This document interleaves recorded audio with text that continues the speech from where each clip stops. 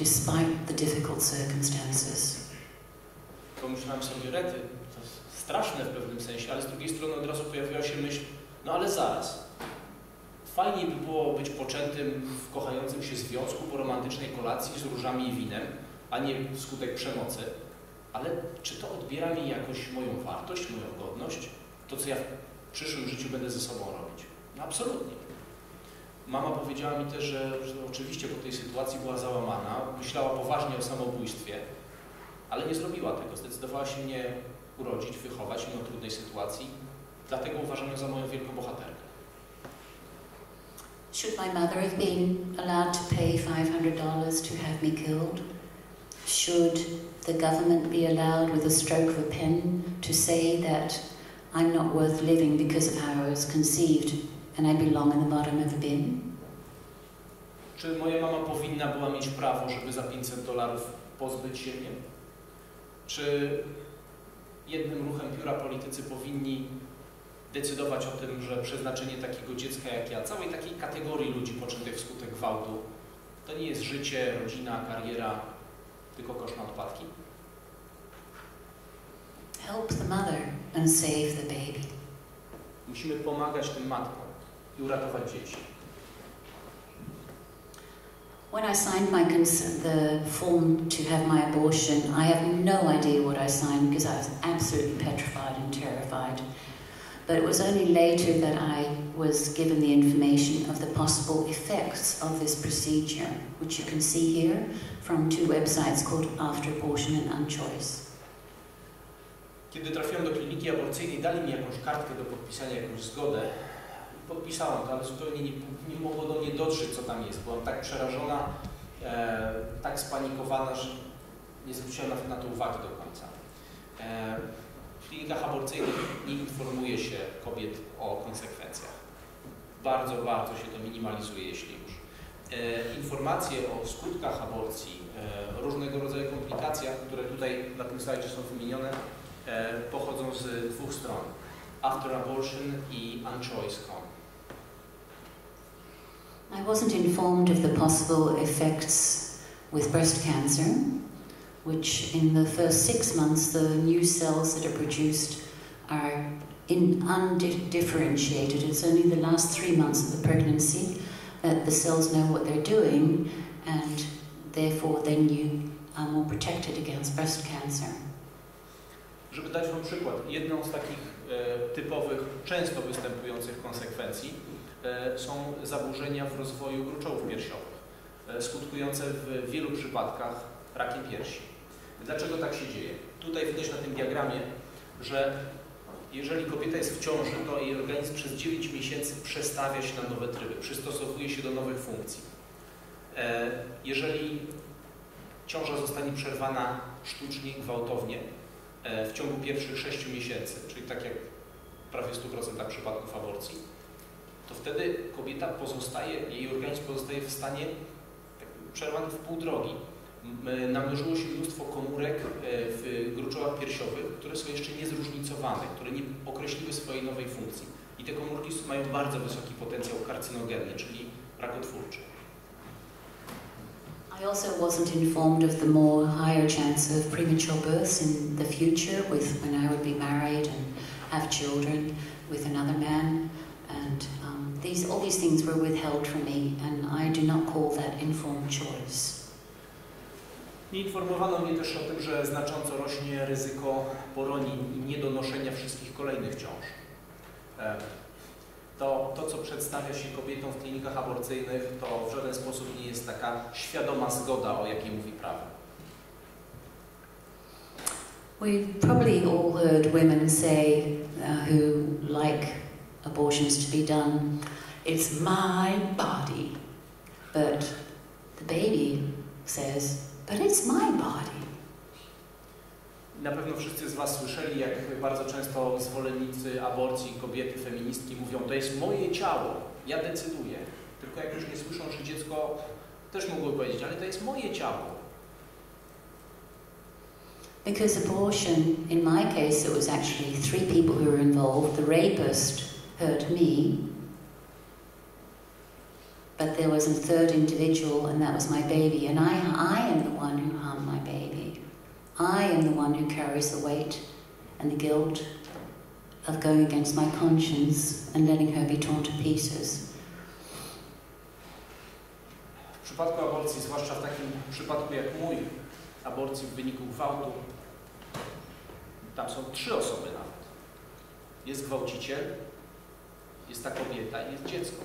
I owszem, gwałciciel skrzywdził kobietę w okrutny sposób, ale to potem jest jej decyzja, jej odpowiedzialność, czy ona ukaże za to swoje dziecko, czy ona pozbawi je życia. To nie jest w żaden sposób sprawiedliwość. Because when a baby is inside a woman, then the woman would be having four heads, four arms, and four legs. And if she's carrying a little boy inside, that would, with a penis, then that's kind of strange.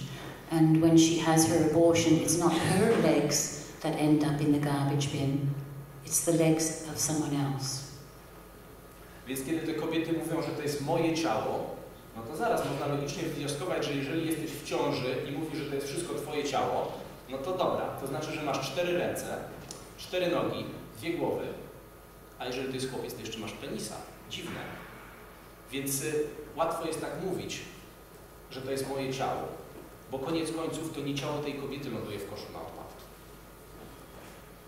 Later in life, I had a boyfriend, and I became pregnant by him, and he insisted that I get rid of the baby or he would be gone. Well, he disappeared, and I decided to become a single mother. Sadly, I miscarried her. I passed out in the ambulance on the way to hospital. I woke up in the hospital room and I said to the nurse, Where's my baby? I want to bury my baby because I was really intent on that.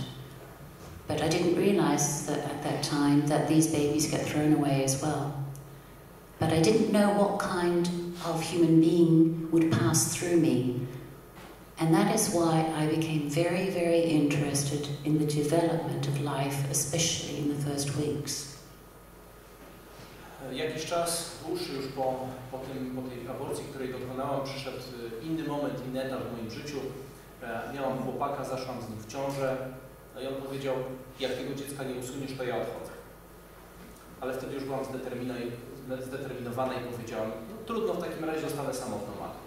No oczywiście chłopak zniknął. Dziecko chciałam urodzić, ale niestety poroniła. Zabrała mnie karetka, straciłam przytomność, kiedy się ocknęłam, zaczęłam krzyczeć, gdzie jest moje dziecko, chcę je przynajmniej pochować. Ale w tamtych czasach nie było takiego rozwiązania. Te dzieci też wyrzucano po prostu. I didn't realize that um, life really starts in the very first day, that the DNA is already in that new life, that the color of my hair was already determined on day one, that I was going to be a girl was known on day one, that my skin color would be white was known on day one, that the color of my eyes would be known, and what blood type was all known on day one. Kiedy straciłam to drugie dziecko, nie wiedziałam, chciałam się dowiedzieć, ale nie mogłam na początku, na jakim etapie rozwoju było, jak to w ogóle wygląda, więc zaczęłam się interesować, doczytywać, jak przebiega rozwój dziecka w czasie ciąży. To było dla mnie niesamowite. Wcześniej się niewiele o tym wiedziałam że już w pierwszym, kiedy to jest jedna komórka, było zdecydowane, że będę kobietą, a nie mężczyzną, że będę miała takiego, a nie innego koloru włosy i oczy, e, taką, a nie inną skórę, grupę krwi. To wszystko już od pierwszego dnia. And I was amazed when I heard that when the heartbeat actually starts, one week, when we're one week overdue as a woman, we probably don't even know we're pregnant yet. And in between, kaboom, kaboom, kaboom, kaboom. A new heartbeat, new life. Byłam też absolutnie zaskoczona tym, jak szybko zaczyna bić serce dziecka.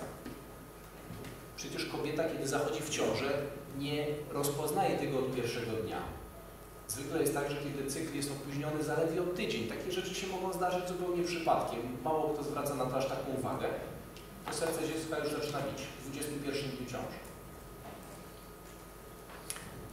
But I decided to make overviews of what a baby looks like at certain weeks and what we as human beings consider a legal procedure to torment them and torture them. Zdecydowałem się też zrobić takie zestawienie, jak wyglądają dzieci na poszczególnych etapach rozwoju i jak wyglądają po tym, co my z nimi zgodnie z prawem.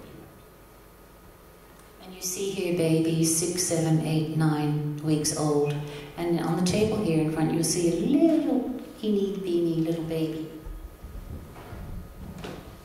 Widzicie tutaj dzieci od 6 do 9 tygodnia życia. Tutaj też mam taki na stole. To maleńkie, białe. Zwróćcie uwagę. This is a little six week baby. They already have arms, hands, feet, head, everything, all their organs are in place. In week seven, they get the elbow. And I was amazed. And whether you're, you know, 200 cells or this size or 18 weeks old here, this is all human life. They are our brothers and our sisters, and they deserve our protection.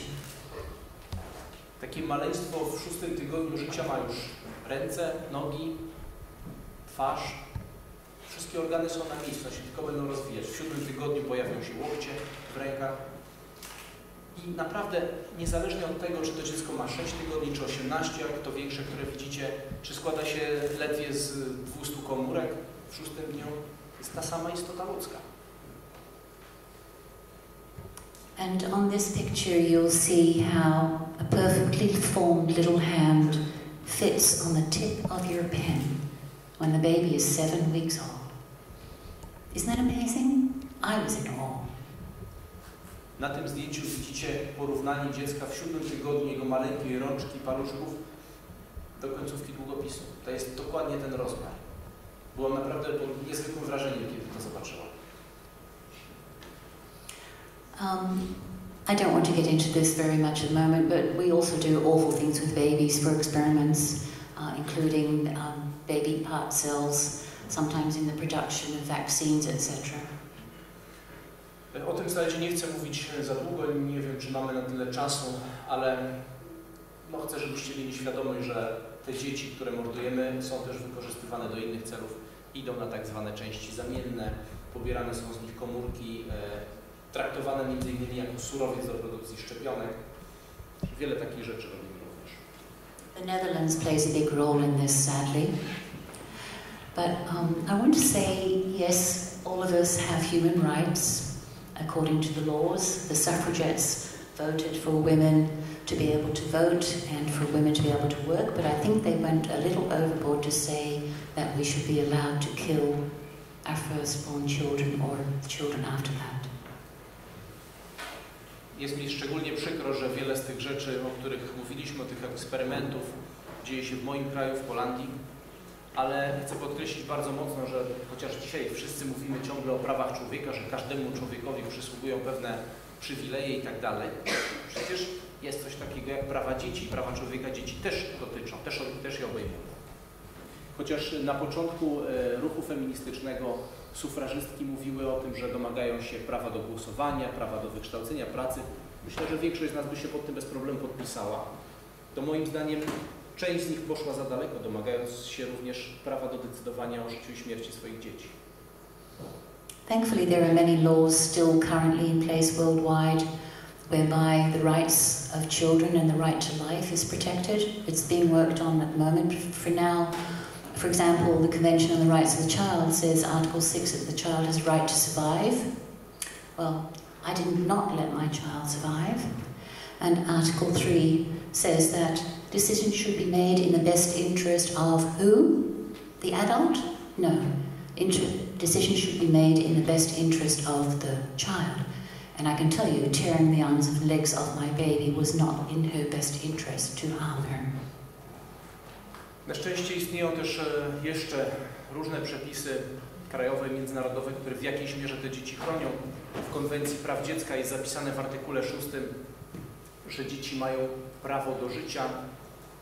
Jakoś w przypadku mojego dziecka nie bardzo mi to pomogło i bardzo się kierowano konwencją. W artykule 6 zapisane jest, że prawa dziecka należy stosować w najlepszym interesie dziecka, a nie matki, nie czyimś innym. Ale jakoś też znowu nikt się tym specjalnie przejął, kiedy mojemu dziecku odrywano w nie jego najlepszym interesie ręce i nogi I was also very astounded about how many babies we kill every year. Here in um, Poland, you've had a change in the law around 1990, which I'm very pleased about. And now we need to tick off the other exceptions because we all have a right to life. Um, you know, that a doctor can decide who is worthy of living or not is, in my opinion, ridiculous. Um, and in the Netherlands, we kill 30,000 babies a year, and here you see a picture of what 30,000 people is every single year. And in the EU, you know, you as Poland and I from the Netherlands are all part of the European Union of 27 countries. And every day, 3,300 babies are killed before we put our head on our pillow tonight. Every single day. To, co również mnie przeraża, to skala, jaką aborcja przyjmuje na świecie. W niedużym w sumie kraju, jakim jest Holandia, każdego roku traci życie 30 tysięcy ludzi. Czy trudno sobie wyobrażać takie duże liczby? Na tym stadionie macie właśnie 30 tysięcy ludzi. To jest roczna liczba ofiar aborcji w Holandii. Każdego dnia, możecie sobie o tym pomyśleć dzisiaj wieczorem, jak się będziecie kładli do łóżka, że dzisiaj również, na terenie Unii Europejskiej traci życie 3300 dzieci. Abortion has an effect for me personally in my life. Abortion has an effect for me in my future, with my future family and future children, because of possible physical effects or mental effects. But it also has an effect for a whole country. Aborcja odbija się na życiu no, dziecka najbardziej bezpośrednio, najbardziej brutalnie. Odbija się na życiu kobiety, chociażby w takiej formie, że wiele skutków zdrowotnych, psychicznych objawia się na wielu etapach życia, utrudnienia w związku i tak ale odbija się też na społeczeństwie, nawet na gospodarce. Widzimy tutaj, jak to wygląda w dziedzinie demografii. Uh, Poland, when I checked last time, had an average of 1.4 children per woman.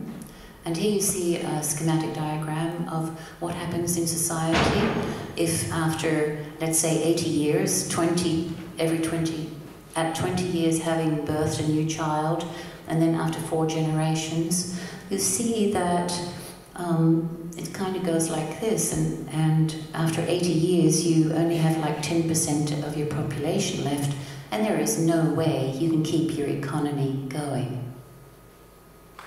Widzicie tutaj takie porównanie dwóch społeczeństw o dwóch różnych poziomach dzietności, jak one się będą rozwijać. W pierwszym przypadku, takim bardzo niskim, 1,2 dziecka na kobietę, w ciągu czterech pokoleń liczba ludności spadnie do 10%. U nas w Polsce teraz dzietność jest gdzieś na poziomie 1,4, więc niewiele lepiej. Jak gospodarka ma udźwignąć takie obciążenie? Te wszystkie zasiłki, emerytury, opieka zdrowotna, chociażby z tego względu to jest ogromny problem. Whereas uh, a minimum of 2.1 children per woman uh, lets the economy keep on going. You can see after four years you kind of have the same amount of population, enough taxpayers, enough people putting money into the treasury of the government, enough people to take care of the elderly people. Gdyby tymczasem zachowana była taka dzietność, jaka jest no, minimalna, żeby społeczeństwo utrzymywało swoją liczbę, czyli 2,1, to wtedy widzimy, że wszystko pozostaje w miarę w porządku. Liczba ludności jest względnie stabilna, e, liczba podatników tak samo. Jest kto się zaopiekować osobami, które pomocy potrzebują. Także nawet z perspektywy ekonomicznej jest to znacznie, znacznie lepsze niż, niż to, co mamy między innymi wskutek aborcji. Enter euthanasia, enter the euthanasia pill, which my country is promoting. No, ale dzieją się też takie rzeczy jak eutanazja, jak pigułka eutanazyjna, którą właśnie promuje mój kraj. Także witamy w przyszłości. They were introducing a suicide pill to make available for everybody. But these people just need help and kindness being shown to them. Many of these babies that we're talking about are not dead yet. żeby Wam wytłumaczyć troszeczkę, to jest takie rozwiązanie problemu demograficznego. No, zamiast tych wszystkich staruszków y, karmić, y, myć, kłaść do łóżek, wyprowadzać na spacer. No to pigułeczka dla samobójstwa. Załatwia problem od razu, no, ekonomicznie super rozwiązanie. Ale wracając na grunt aborcji, chcę, żeby zakończyć taką konstatacją, że wiele z tych dzieci, które mogą stracić życie w wyniku aborcji, jeszcze go nie straciło. I to jest wszystko w naszych rękach, co z tym zrobimy. What are you going to do to save these babies? What are you going to do to protect babies from these brutal deaths? Co wy zrobicie, żeby uratować ich życie? Co zrobicie, żeby oszczędzić im takiego losu, jaki możecie tutaj zobaczyć? Just wrapping up here, this is what I do in the Netherlands, uh, amongst other things. I educate on the street and I help save babies. And these are two babies that have been born. Więc podsumowując króciutko moją działalność, to jest między innymi to, co robię, takie akcje, demonstracje na ulicy, akcje edukacyjne, żeby dotrzeć do ludzi, uświadomić im, czym jest aborcja. A zdjęcia tej dwójki dzieci to są dzieci, które uratowaliśmy w mojej organizacji. Dzieci kobiet, które po rozmowach z nami zdecydowały się nie dokonać aborcji, tylko te dzieci urodzić. And it's so wonderful. You know, the precious arms of a baby around your neck, they're more beautiful than any pearls. I jest, jest w tym coś takiego niesamowitego, że takie małe rączki dziecka, które nam się zawieszają na szyi, są dużo cenniejsze niż jakiekolwiek perły, jakiekolwiek drogocenny na szyi. You don't have to be rich, you just need to be able to give love. To nieważne, czy jesteśmy bogaci. Ważne, czy umiemy dawać miłość. And on this note, I would like to end and leave you with this in your memory that this is what the six week little baby model that I showed looks like in real life. I na koniec ten slajd.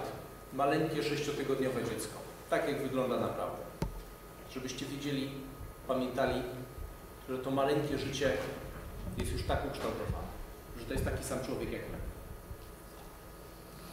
And as Albert Einstein said, those who have the privilege to know have a duty to act. Thank you.